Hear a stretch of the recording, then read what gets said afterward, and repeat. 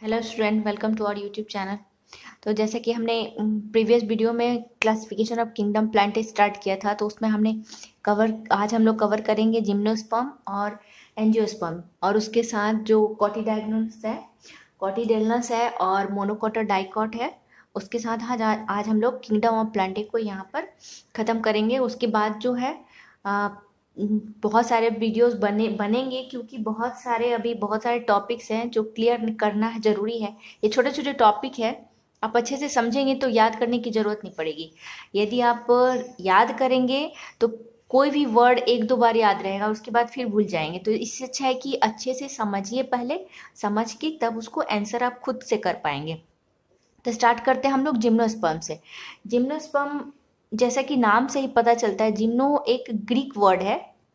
Greek word है जिसका जिम्नोस का मतलब होता है नेकेट ठीक है? यानी विदाउट कवर और स्पर्मा मीन्स होता है सीड जो इनका जो सीड था, वो विदाउट कवर था।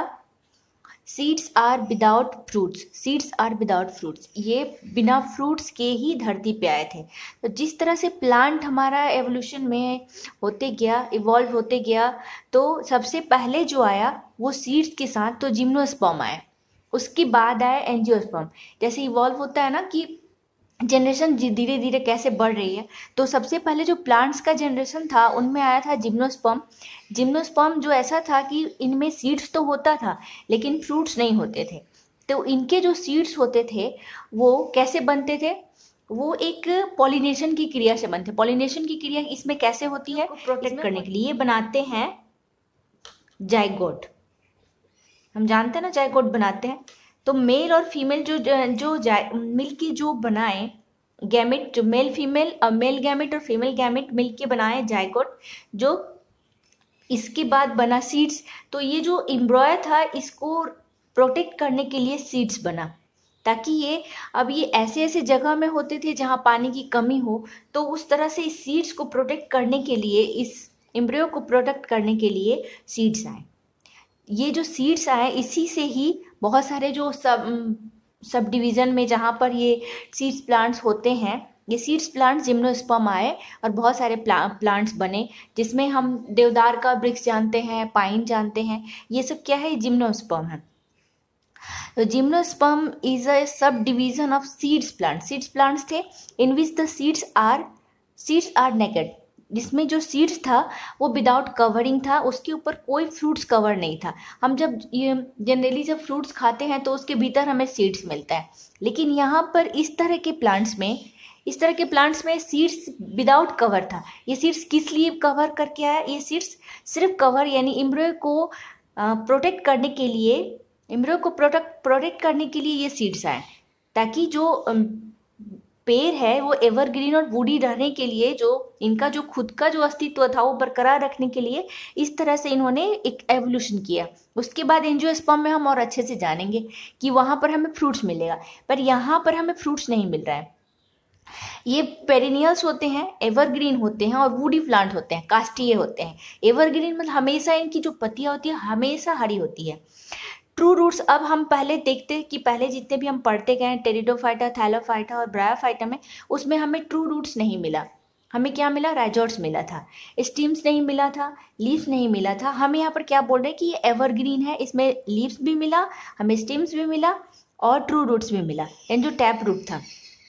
लेकिन जो जाइलम और फ्लोएम में था, इसमें जो वेसल्स जाइलम के जो वेसल्स थे, वो कमी थे, उस, वो जाइलम वेसल्स नहीं मिला।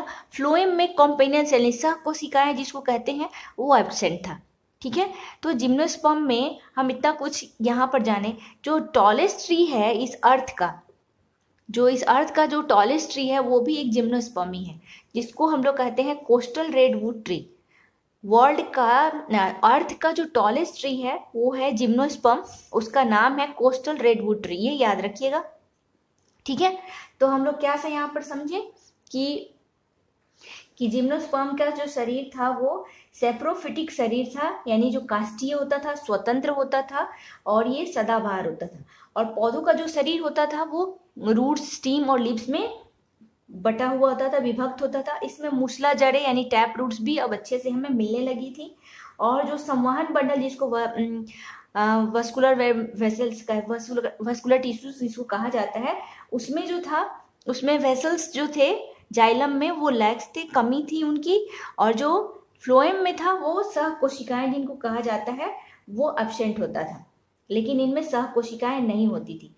पत्तियाँ दो प्रकार की होती थी, यूरिरॉल पत्र होता था और बड़ी फ्लोएज भी पत्तियाँ पाई जाती थी। इस तरह से जिम्नोस्पर्म। इसका जो एग्जाम्पल्स हम लोग लिख सकते हैं, देवदार लिख सकते हैं पाइन्स लिख सकते हैं, ठीक है? उसके बाद हम लोग आते हैं एंजियोस्पर्म में। एंजियोस्पर्म का जो शरीर होता था, वो कैसा होता था?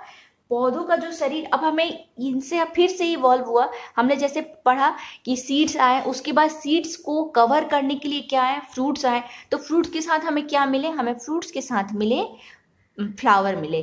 फ्लावर के बाद ही फ्रूट्स बना। तो फ्लावर यहाँ पर हमें एंजियोस्पर्म में हमें मिलने लगा था। तो ये इवॉल्व होके आया। तो जो शरीर था एंजियोस्पर्म का, वो पौधों का जो शरीर था, वो वास्तविक जड़ था, जो रियल हमें मिला ट्रू रूट मिला हमें, तना मिला और पतिया में विभक्त मिला, जो कि क्या थे? एस्पेरोफाइट थे। और जो टैप रूट और रेसेदार फाइब्रस रूट ये भी मिलने लगा हमें। हमें सिर्फ़ यहाँ पर टैप रूट मिला। आगे चल के हमें जो एंजियोस्पर्म में हमें मिला, वो रेशेदार जड़ भी मिली और टैप रूट भी मिलने लगा। ठीक है? हम लोग आते हैं एंजियोस्पर्म में। एंजियोस्पर्म जिस तरह से, ये भी एक ग्रीक वर्ड है, जिसका मतलब होता है एंजियोन का मतलब होता है कवर और स्पर्मा का मतलब होता है सीड ठीक है तो एंजियोस्पर्म भी एक सब डिवीज़न सीड्स प्लांट्स था in which seeds are produce inside fruits अब हम, हमारा जो, ये जो एवोल्यूशन हुआ तो ये हाईली इवॉल्व प्लांट्स होने लगे और इनके भीतर फ्रूट्स भी बनने लगा और फ्रूट्स के साथ साथ उनके मतलब जो सीड्स बनते थे, वो फ्रूट्स के कवरिंग में होने लगे। तो वो जो हम आजकल जितने में फ्रूट्स खाते हैं तो ये इवॉल्व प्लांट कहाँ से आया? वहाँ से जिम्नोस्पर्म के बाद जो इवॉल्व एवोल्यूशन हुआ मन सिर्फ़ प्लांट्स में इवोल्यूशन हुआ तो हाईली इवॉल्व प्लांट्स थे एंजियोस्पर्म ये एक सब डिवीज़न सीड्स प्लांट्स हैं in which seeds are produce कहाँ होता था सीड्स कहाँ होने लगा? अब फ्रूट्स के भीतर हमें सीड्स मिलने लगे। अब angiosperms are also called flowering plants अब इनके भीतर हमें फ्लावर्स भी मिलने लगे थे। Produce seeds enclose within the fruits हमें जो सीड्स मिलता था, वो फ्रूट्स के भीतर मिलता था। सीड्स डेवलप्ड इनसाइड ओवरी और हम, अब जैसा कि हमने देखा कि मेल जाएगा और फीमेल जाएगा। तो जब तो ये बना कैसे? जैसे आपने फ्लावर देखा होगा, जब फ्लावर देखते हैं, मान लीजिए ये इस तरह कोई फ्लावर है और इस तरह के फ्लावर में आप देखे होंगे कि यहाँ पर एक येलो येलो कलर का इस तरह से बहुत पतली पतली सी इस तरह से स्टैंड दिखने को मिलते हैं। ये क्या होता है और ये जो भीतर की तरफ़ आप जाएँगे इस तरह से, ठीक है, ये पॉलिनेशन की क्रिया है। जब ये भीतर की तरफ़ आप जाएँगे तो यहाँ पर एक फुला हुआ सा इस तरह से पार्ट मिलेगा, जिसको हम लोग हाथ में पकड़ते हैं ना, वही वाला। तो इसके भीतर हमें क्या मिलता है? इसके भीतर हमें मिलता है जब इसका हम लोग डाइसेक्शन करेंगे तो हमें मिलेगा क्या कि इसके भीतर हमें ओवरी मिलेगा, ठीक है? तो ये जो, ये कभी कभी प्लांट्स जो होते हैं, उनके भीतर मेल और फीमेल दोनों पाए जाते हैं और नहीं भी पाए जाते हैं तो वो बाई बिंड या फिर बाई एनिमल्स जो भी कहिए, वो उनके द्वारा ये जो मेल जाइगोट है, वो आता है और ये फीमेल जाइगोट दोनों मिलके बनाते हैं सॉरी मेल गैमिट और फीमेल गैमिट जो मिलके बनाते हैं, वो जाइगोट बनाते हैं और इनके भीतर क्या होने लगा कि इम्ब्रॉय जो संचित होता था वो बनने लगा। इस इम्ब्रॉय को फिर यहाँ पर ये जो फ्लावर थे, वो देखते हम धीरे धीरे कि यही हिस्सा जो था, ये ओवरी बना। ओवरी के ऊपर वाला जो ये हिस्सा था, जहाँ पर ये इम्ब्रॉय सुरक्षित होता था, वो ओवरी ही क्या बनने लगा? वो धीरे धीरे बड़ा होने लगा और वो फ्रूट्स का रूप ले लेता था। और उसके बाद क्या होता था, ये जो फ्लावर था वो झड़ जाते थे। हम देखते हैं ना, ये कोई भी फ्रूट्स के ऊपर पहले क्या आता है, एक फ्लावर आता है, उसके बाद वो फ्लावर क्या होता है धीरे धीरे वो झड़ जाता है और वो हमें एक फ्रूट्स के रूप में हमें मिल जाता है। ठीक है? तो ये जनरली पॉलिनेशन की क्रिया के द्वारा इस तरह से हमें फ्रूट्स भी मिलने लगे थे और उसके बाद इसमें ही सबसे पहले ओवरी का निर्माण हुआ, इस तरह के ही प्लांट्स में।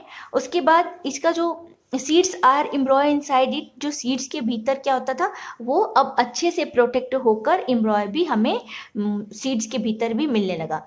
अब जैसे हमारा जो था जिम्नोस्पम में कि जो जाइलम और फ्लोएम थे वेसल्स थे, जो वस्कुलर टिश्यूज थे वस्कुलर स्टैंड्स थे तो उसमें हमें जाइलम में वेसल्स नहीं मिलते थे। अब हमें वेसल्स भी मिलने लगे थे और फ्लोएम में जो कंपेनियन सा कोशिकाएँ थी, वो भी हमें मिलने लगी थी। लेकिन अब इसको भी दो भागों में बांटना पड़ा। वो इसलिए कि अब जो जो सीड्स थे, वो कोटिडेलनस थे कोटिडेलनस थे, यानी कि जो उनके पत्र जो थे वो सीड्स जो थे, वो दो बीजपत्री थे या एक बीजपत्री थे? तो इनको दो भागों में बांटना पड़ा, जिसको मोनोकॉट और डाइकॉट के नाम से हम जानते हैं। इनका जो मोनोकोट और डाइकॉट था, मोनोकोट हम लोग क्या जानते हैं? एक बीजपत्री और जो डाइकॉट है, उसको हम लोग द्विबीजपत्री के नाम से जानते हैं। तो जैसे डिफरेंसेस आपको पता करना है मोनोकोट और डाइकॉट में तो हम लोग अभी देख लेंगे, जिससे कि आप लोग अच्छे से और अच्छे से समझ में आ जाएगा। तो जो मोनोकॉट में था, उसमें हमें क्या मिला? उसके एम्ब्रॉय में सिर्फ़ एक ही बीज पत्र होता था, यानी कोटिडेलन एक ही पाया जाता था, ठीक है? और अंकुरन के फल अंकुरन यानी कि जब उसके अंकुरन के फलस्वरूप हमें क्या मिलता था? आकस्मिक जड़ें मिलती थी, ठीक है? पत्तियों में समानांतर जो सीरा होता था, जैसे कि पैरल वेनिश जैसे आप देखेंगे, पत्तियाँ देखेंगे तो आपको इस तरह से मान लीजिए पत्ती है तो इसके भीतर एक मोटे सी है और इसे पतली पतली पतली पतली इस तरह से वेंस दिखेंगी, ठीक है? ये किसमें दिखेगा? ये मोनोकॉट में दिखेगा वेंस दिखेंगी इस तरह से, इस तरह से। तो ये मोनोकॉट की पत्तियाँ क्या होती थी? सीरा विन्यास के साथ होने लगी। पुष्प जो होते थे, यानी जो फूल होते थे, वो ट्राईमेरस होते थे। ट्राईमेरस जैसे क्या? कि इसका जो मोनोकॉट का जो फूल होता था, वो हमेशा आपके तीन के मल्टीपल में होगा, ठीक है? तीन के मल्टीपल में, यानी कि तीन, मान लीजिए ये मोनोकॉट का फ्लावर है तो ये तीन के मल्टीपल में होगा तो इसमें छः फूल हमें छः पत्तियाँ हमें मिलेंगी, ठीक है? तीन के मल्टीपल में होगी। और जब हम डाइकॉट में जाएँगे तो ये पत्तियाँ जो होती थी डाइकॉट का, वो बताऊँगी मैं अभी और अच्छे से, जो डाइकॉट की जो फूल होते थे, वो हमेशा पाँच के मल्टीपल में होंगे। यानी कि तीन का मल्टीपल छः हुआ, पाँच का मल्टीपल दस हुआ। इस तरह से हमें डाइकॉट में मिला। डाइकॉट के मतलब से हम लोग समझ गए कि द्विबीजपत्री है। ठीक है?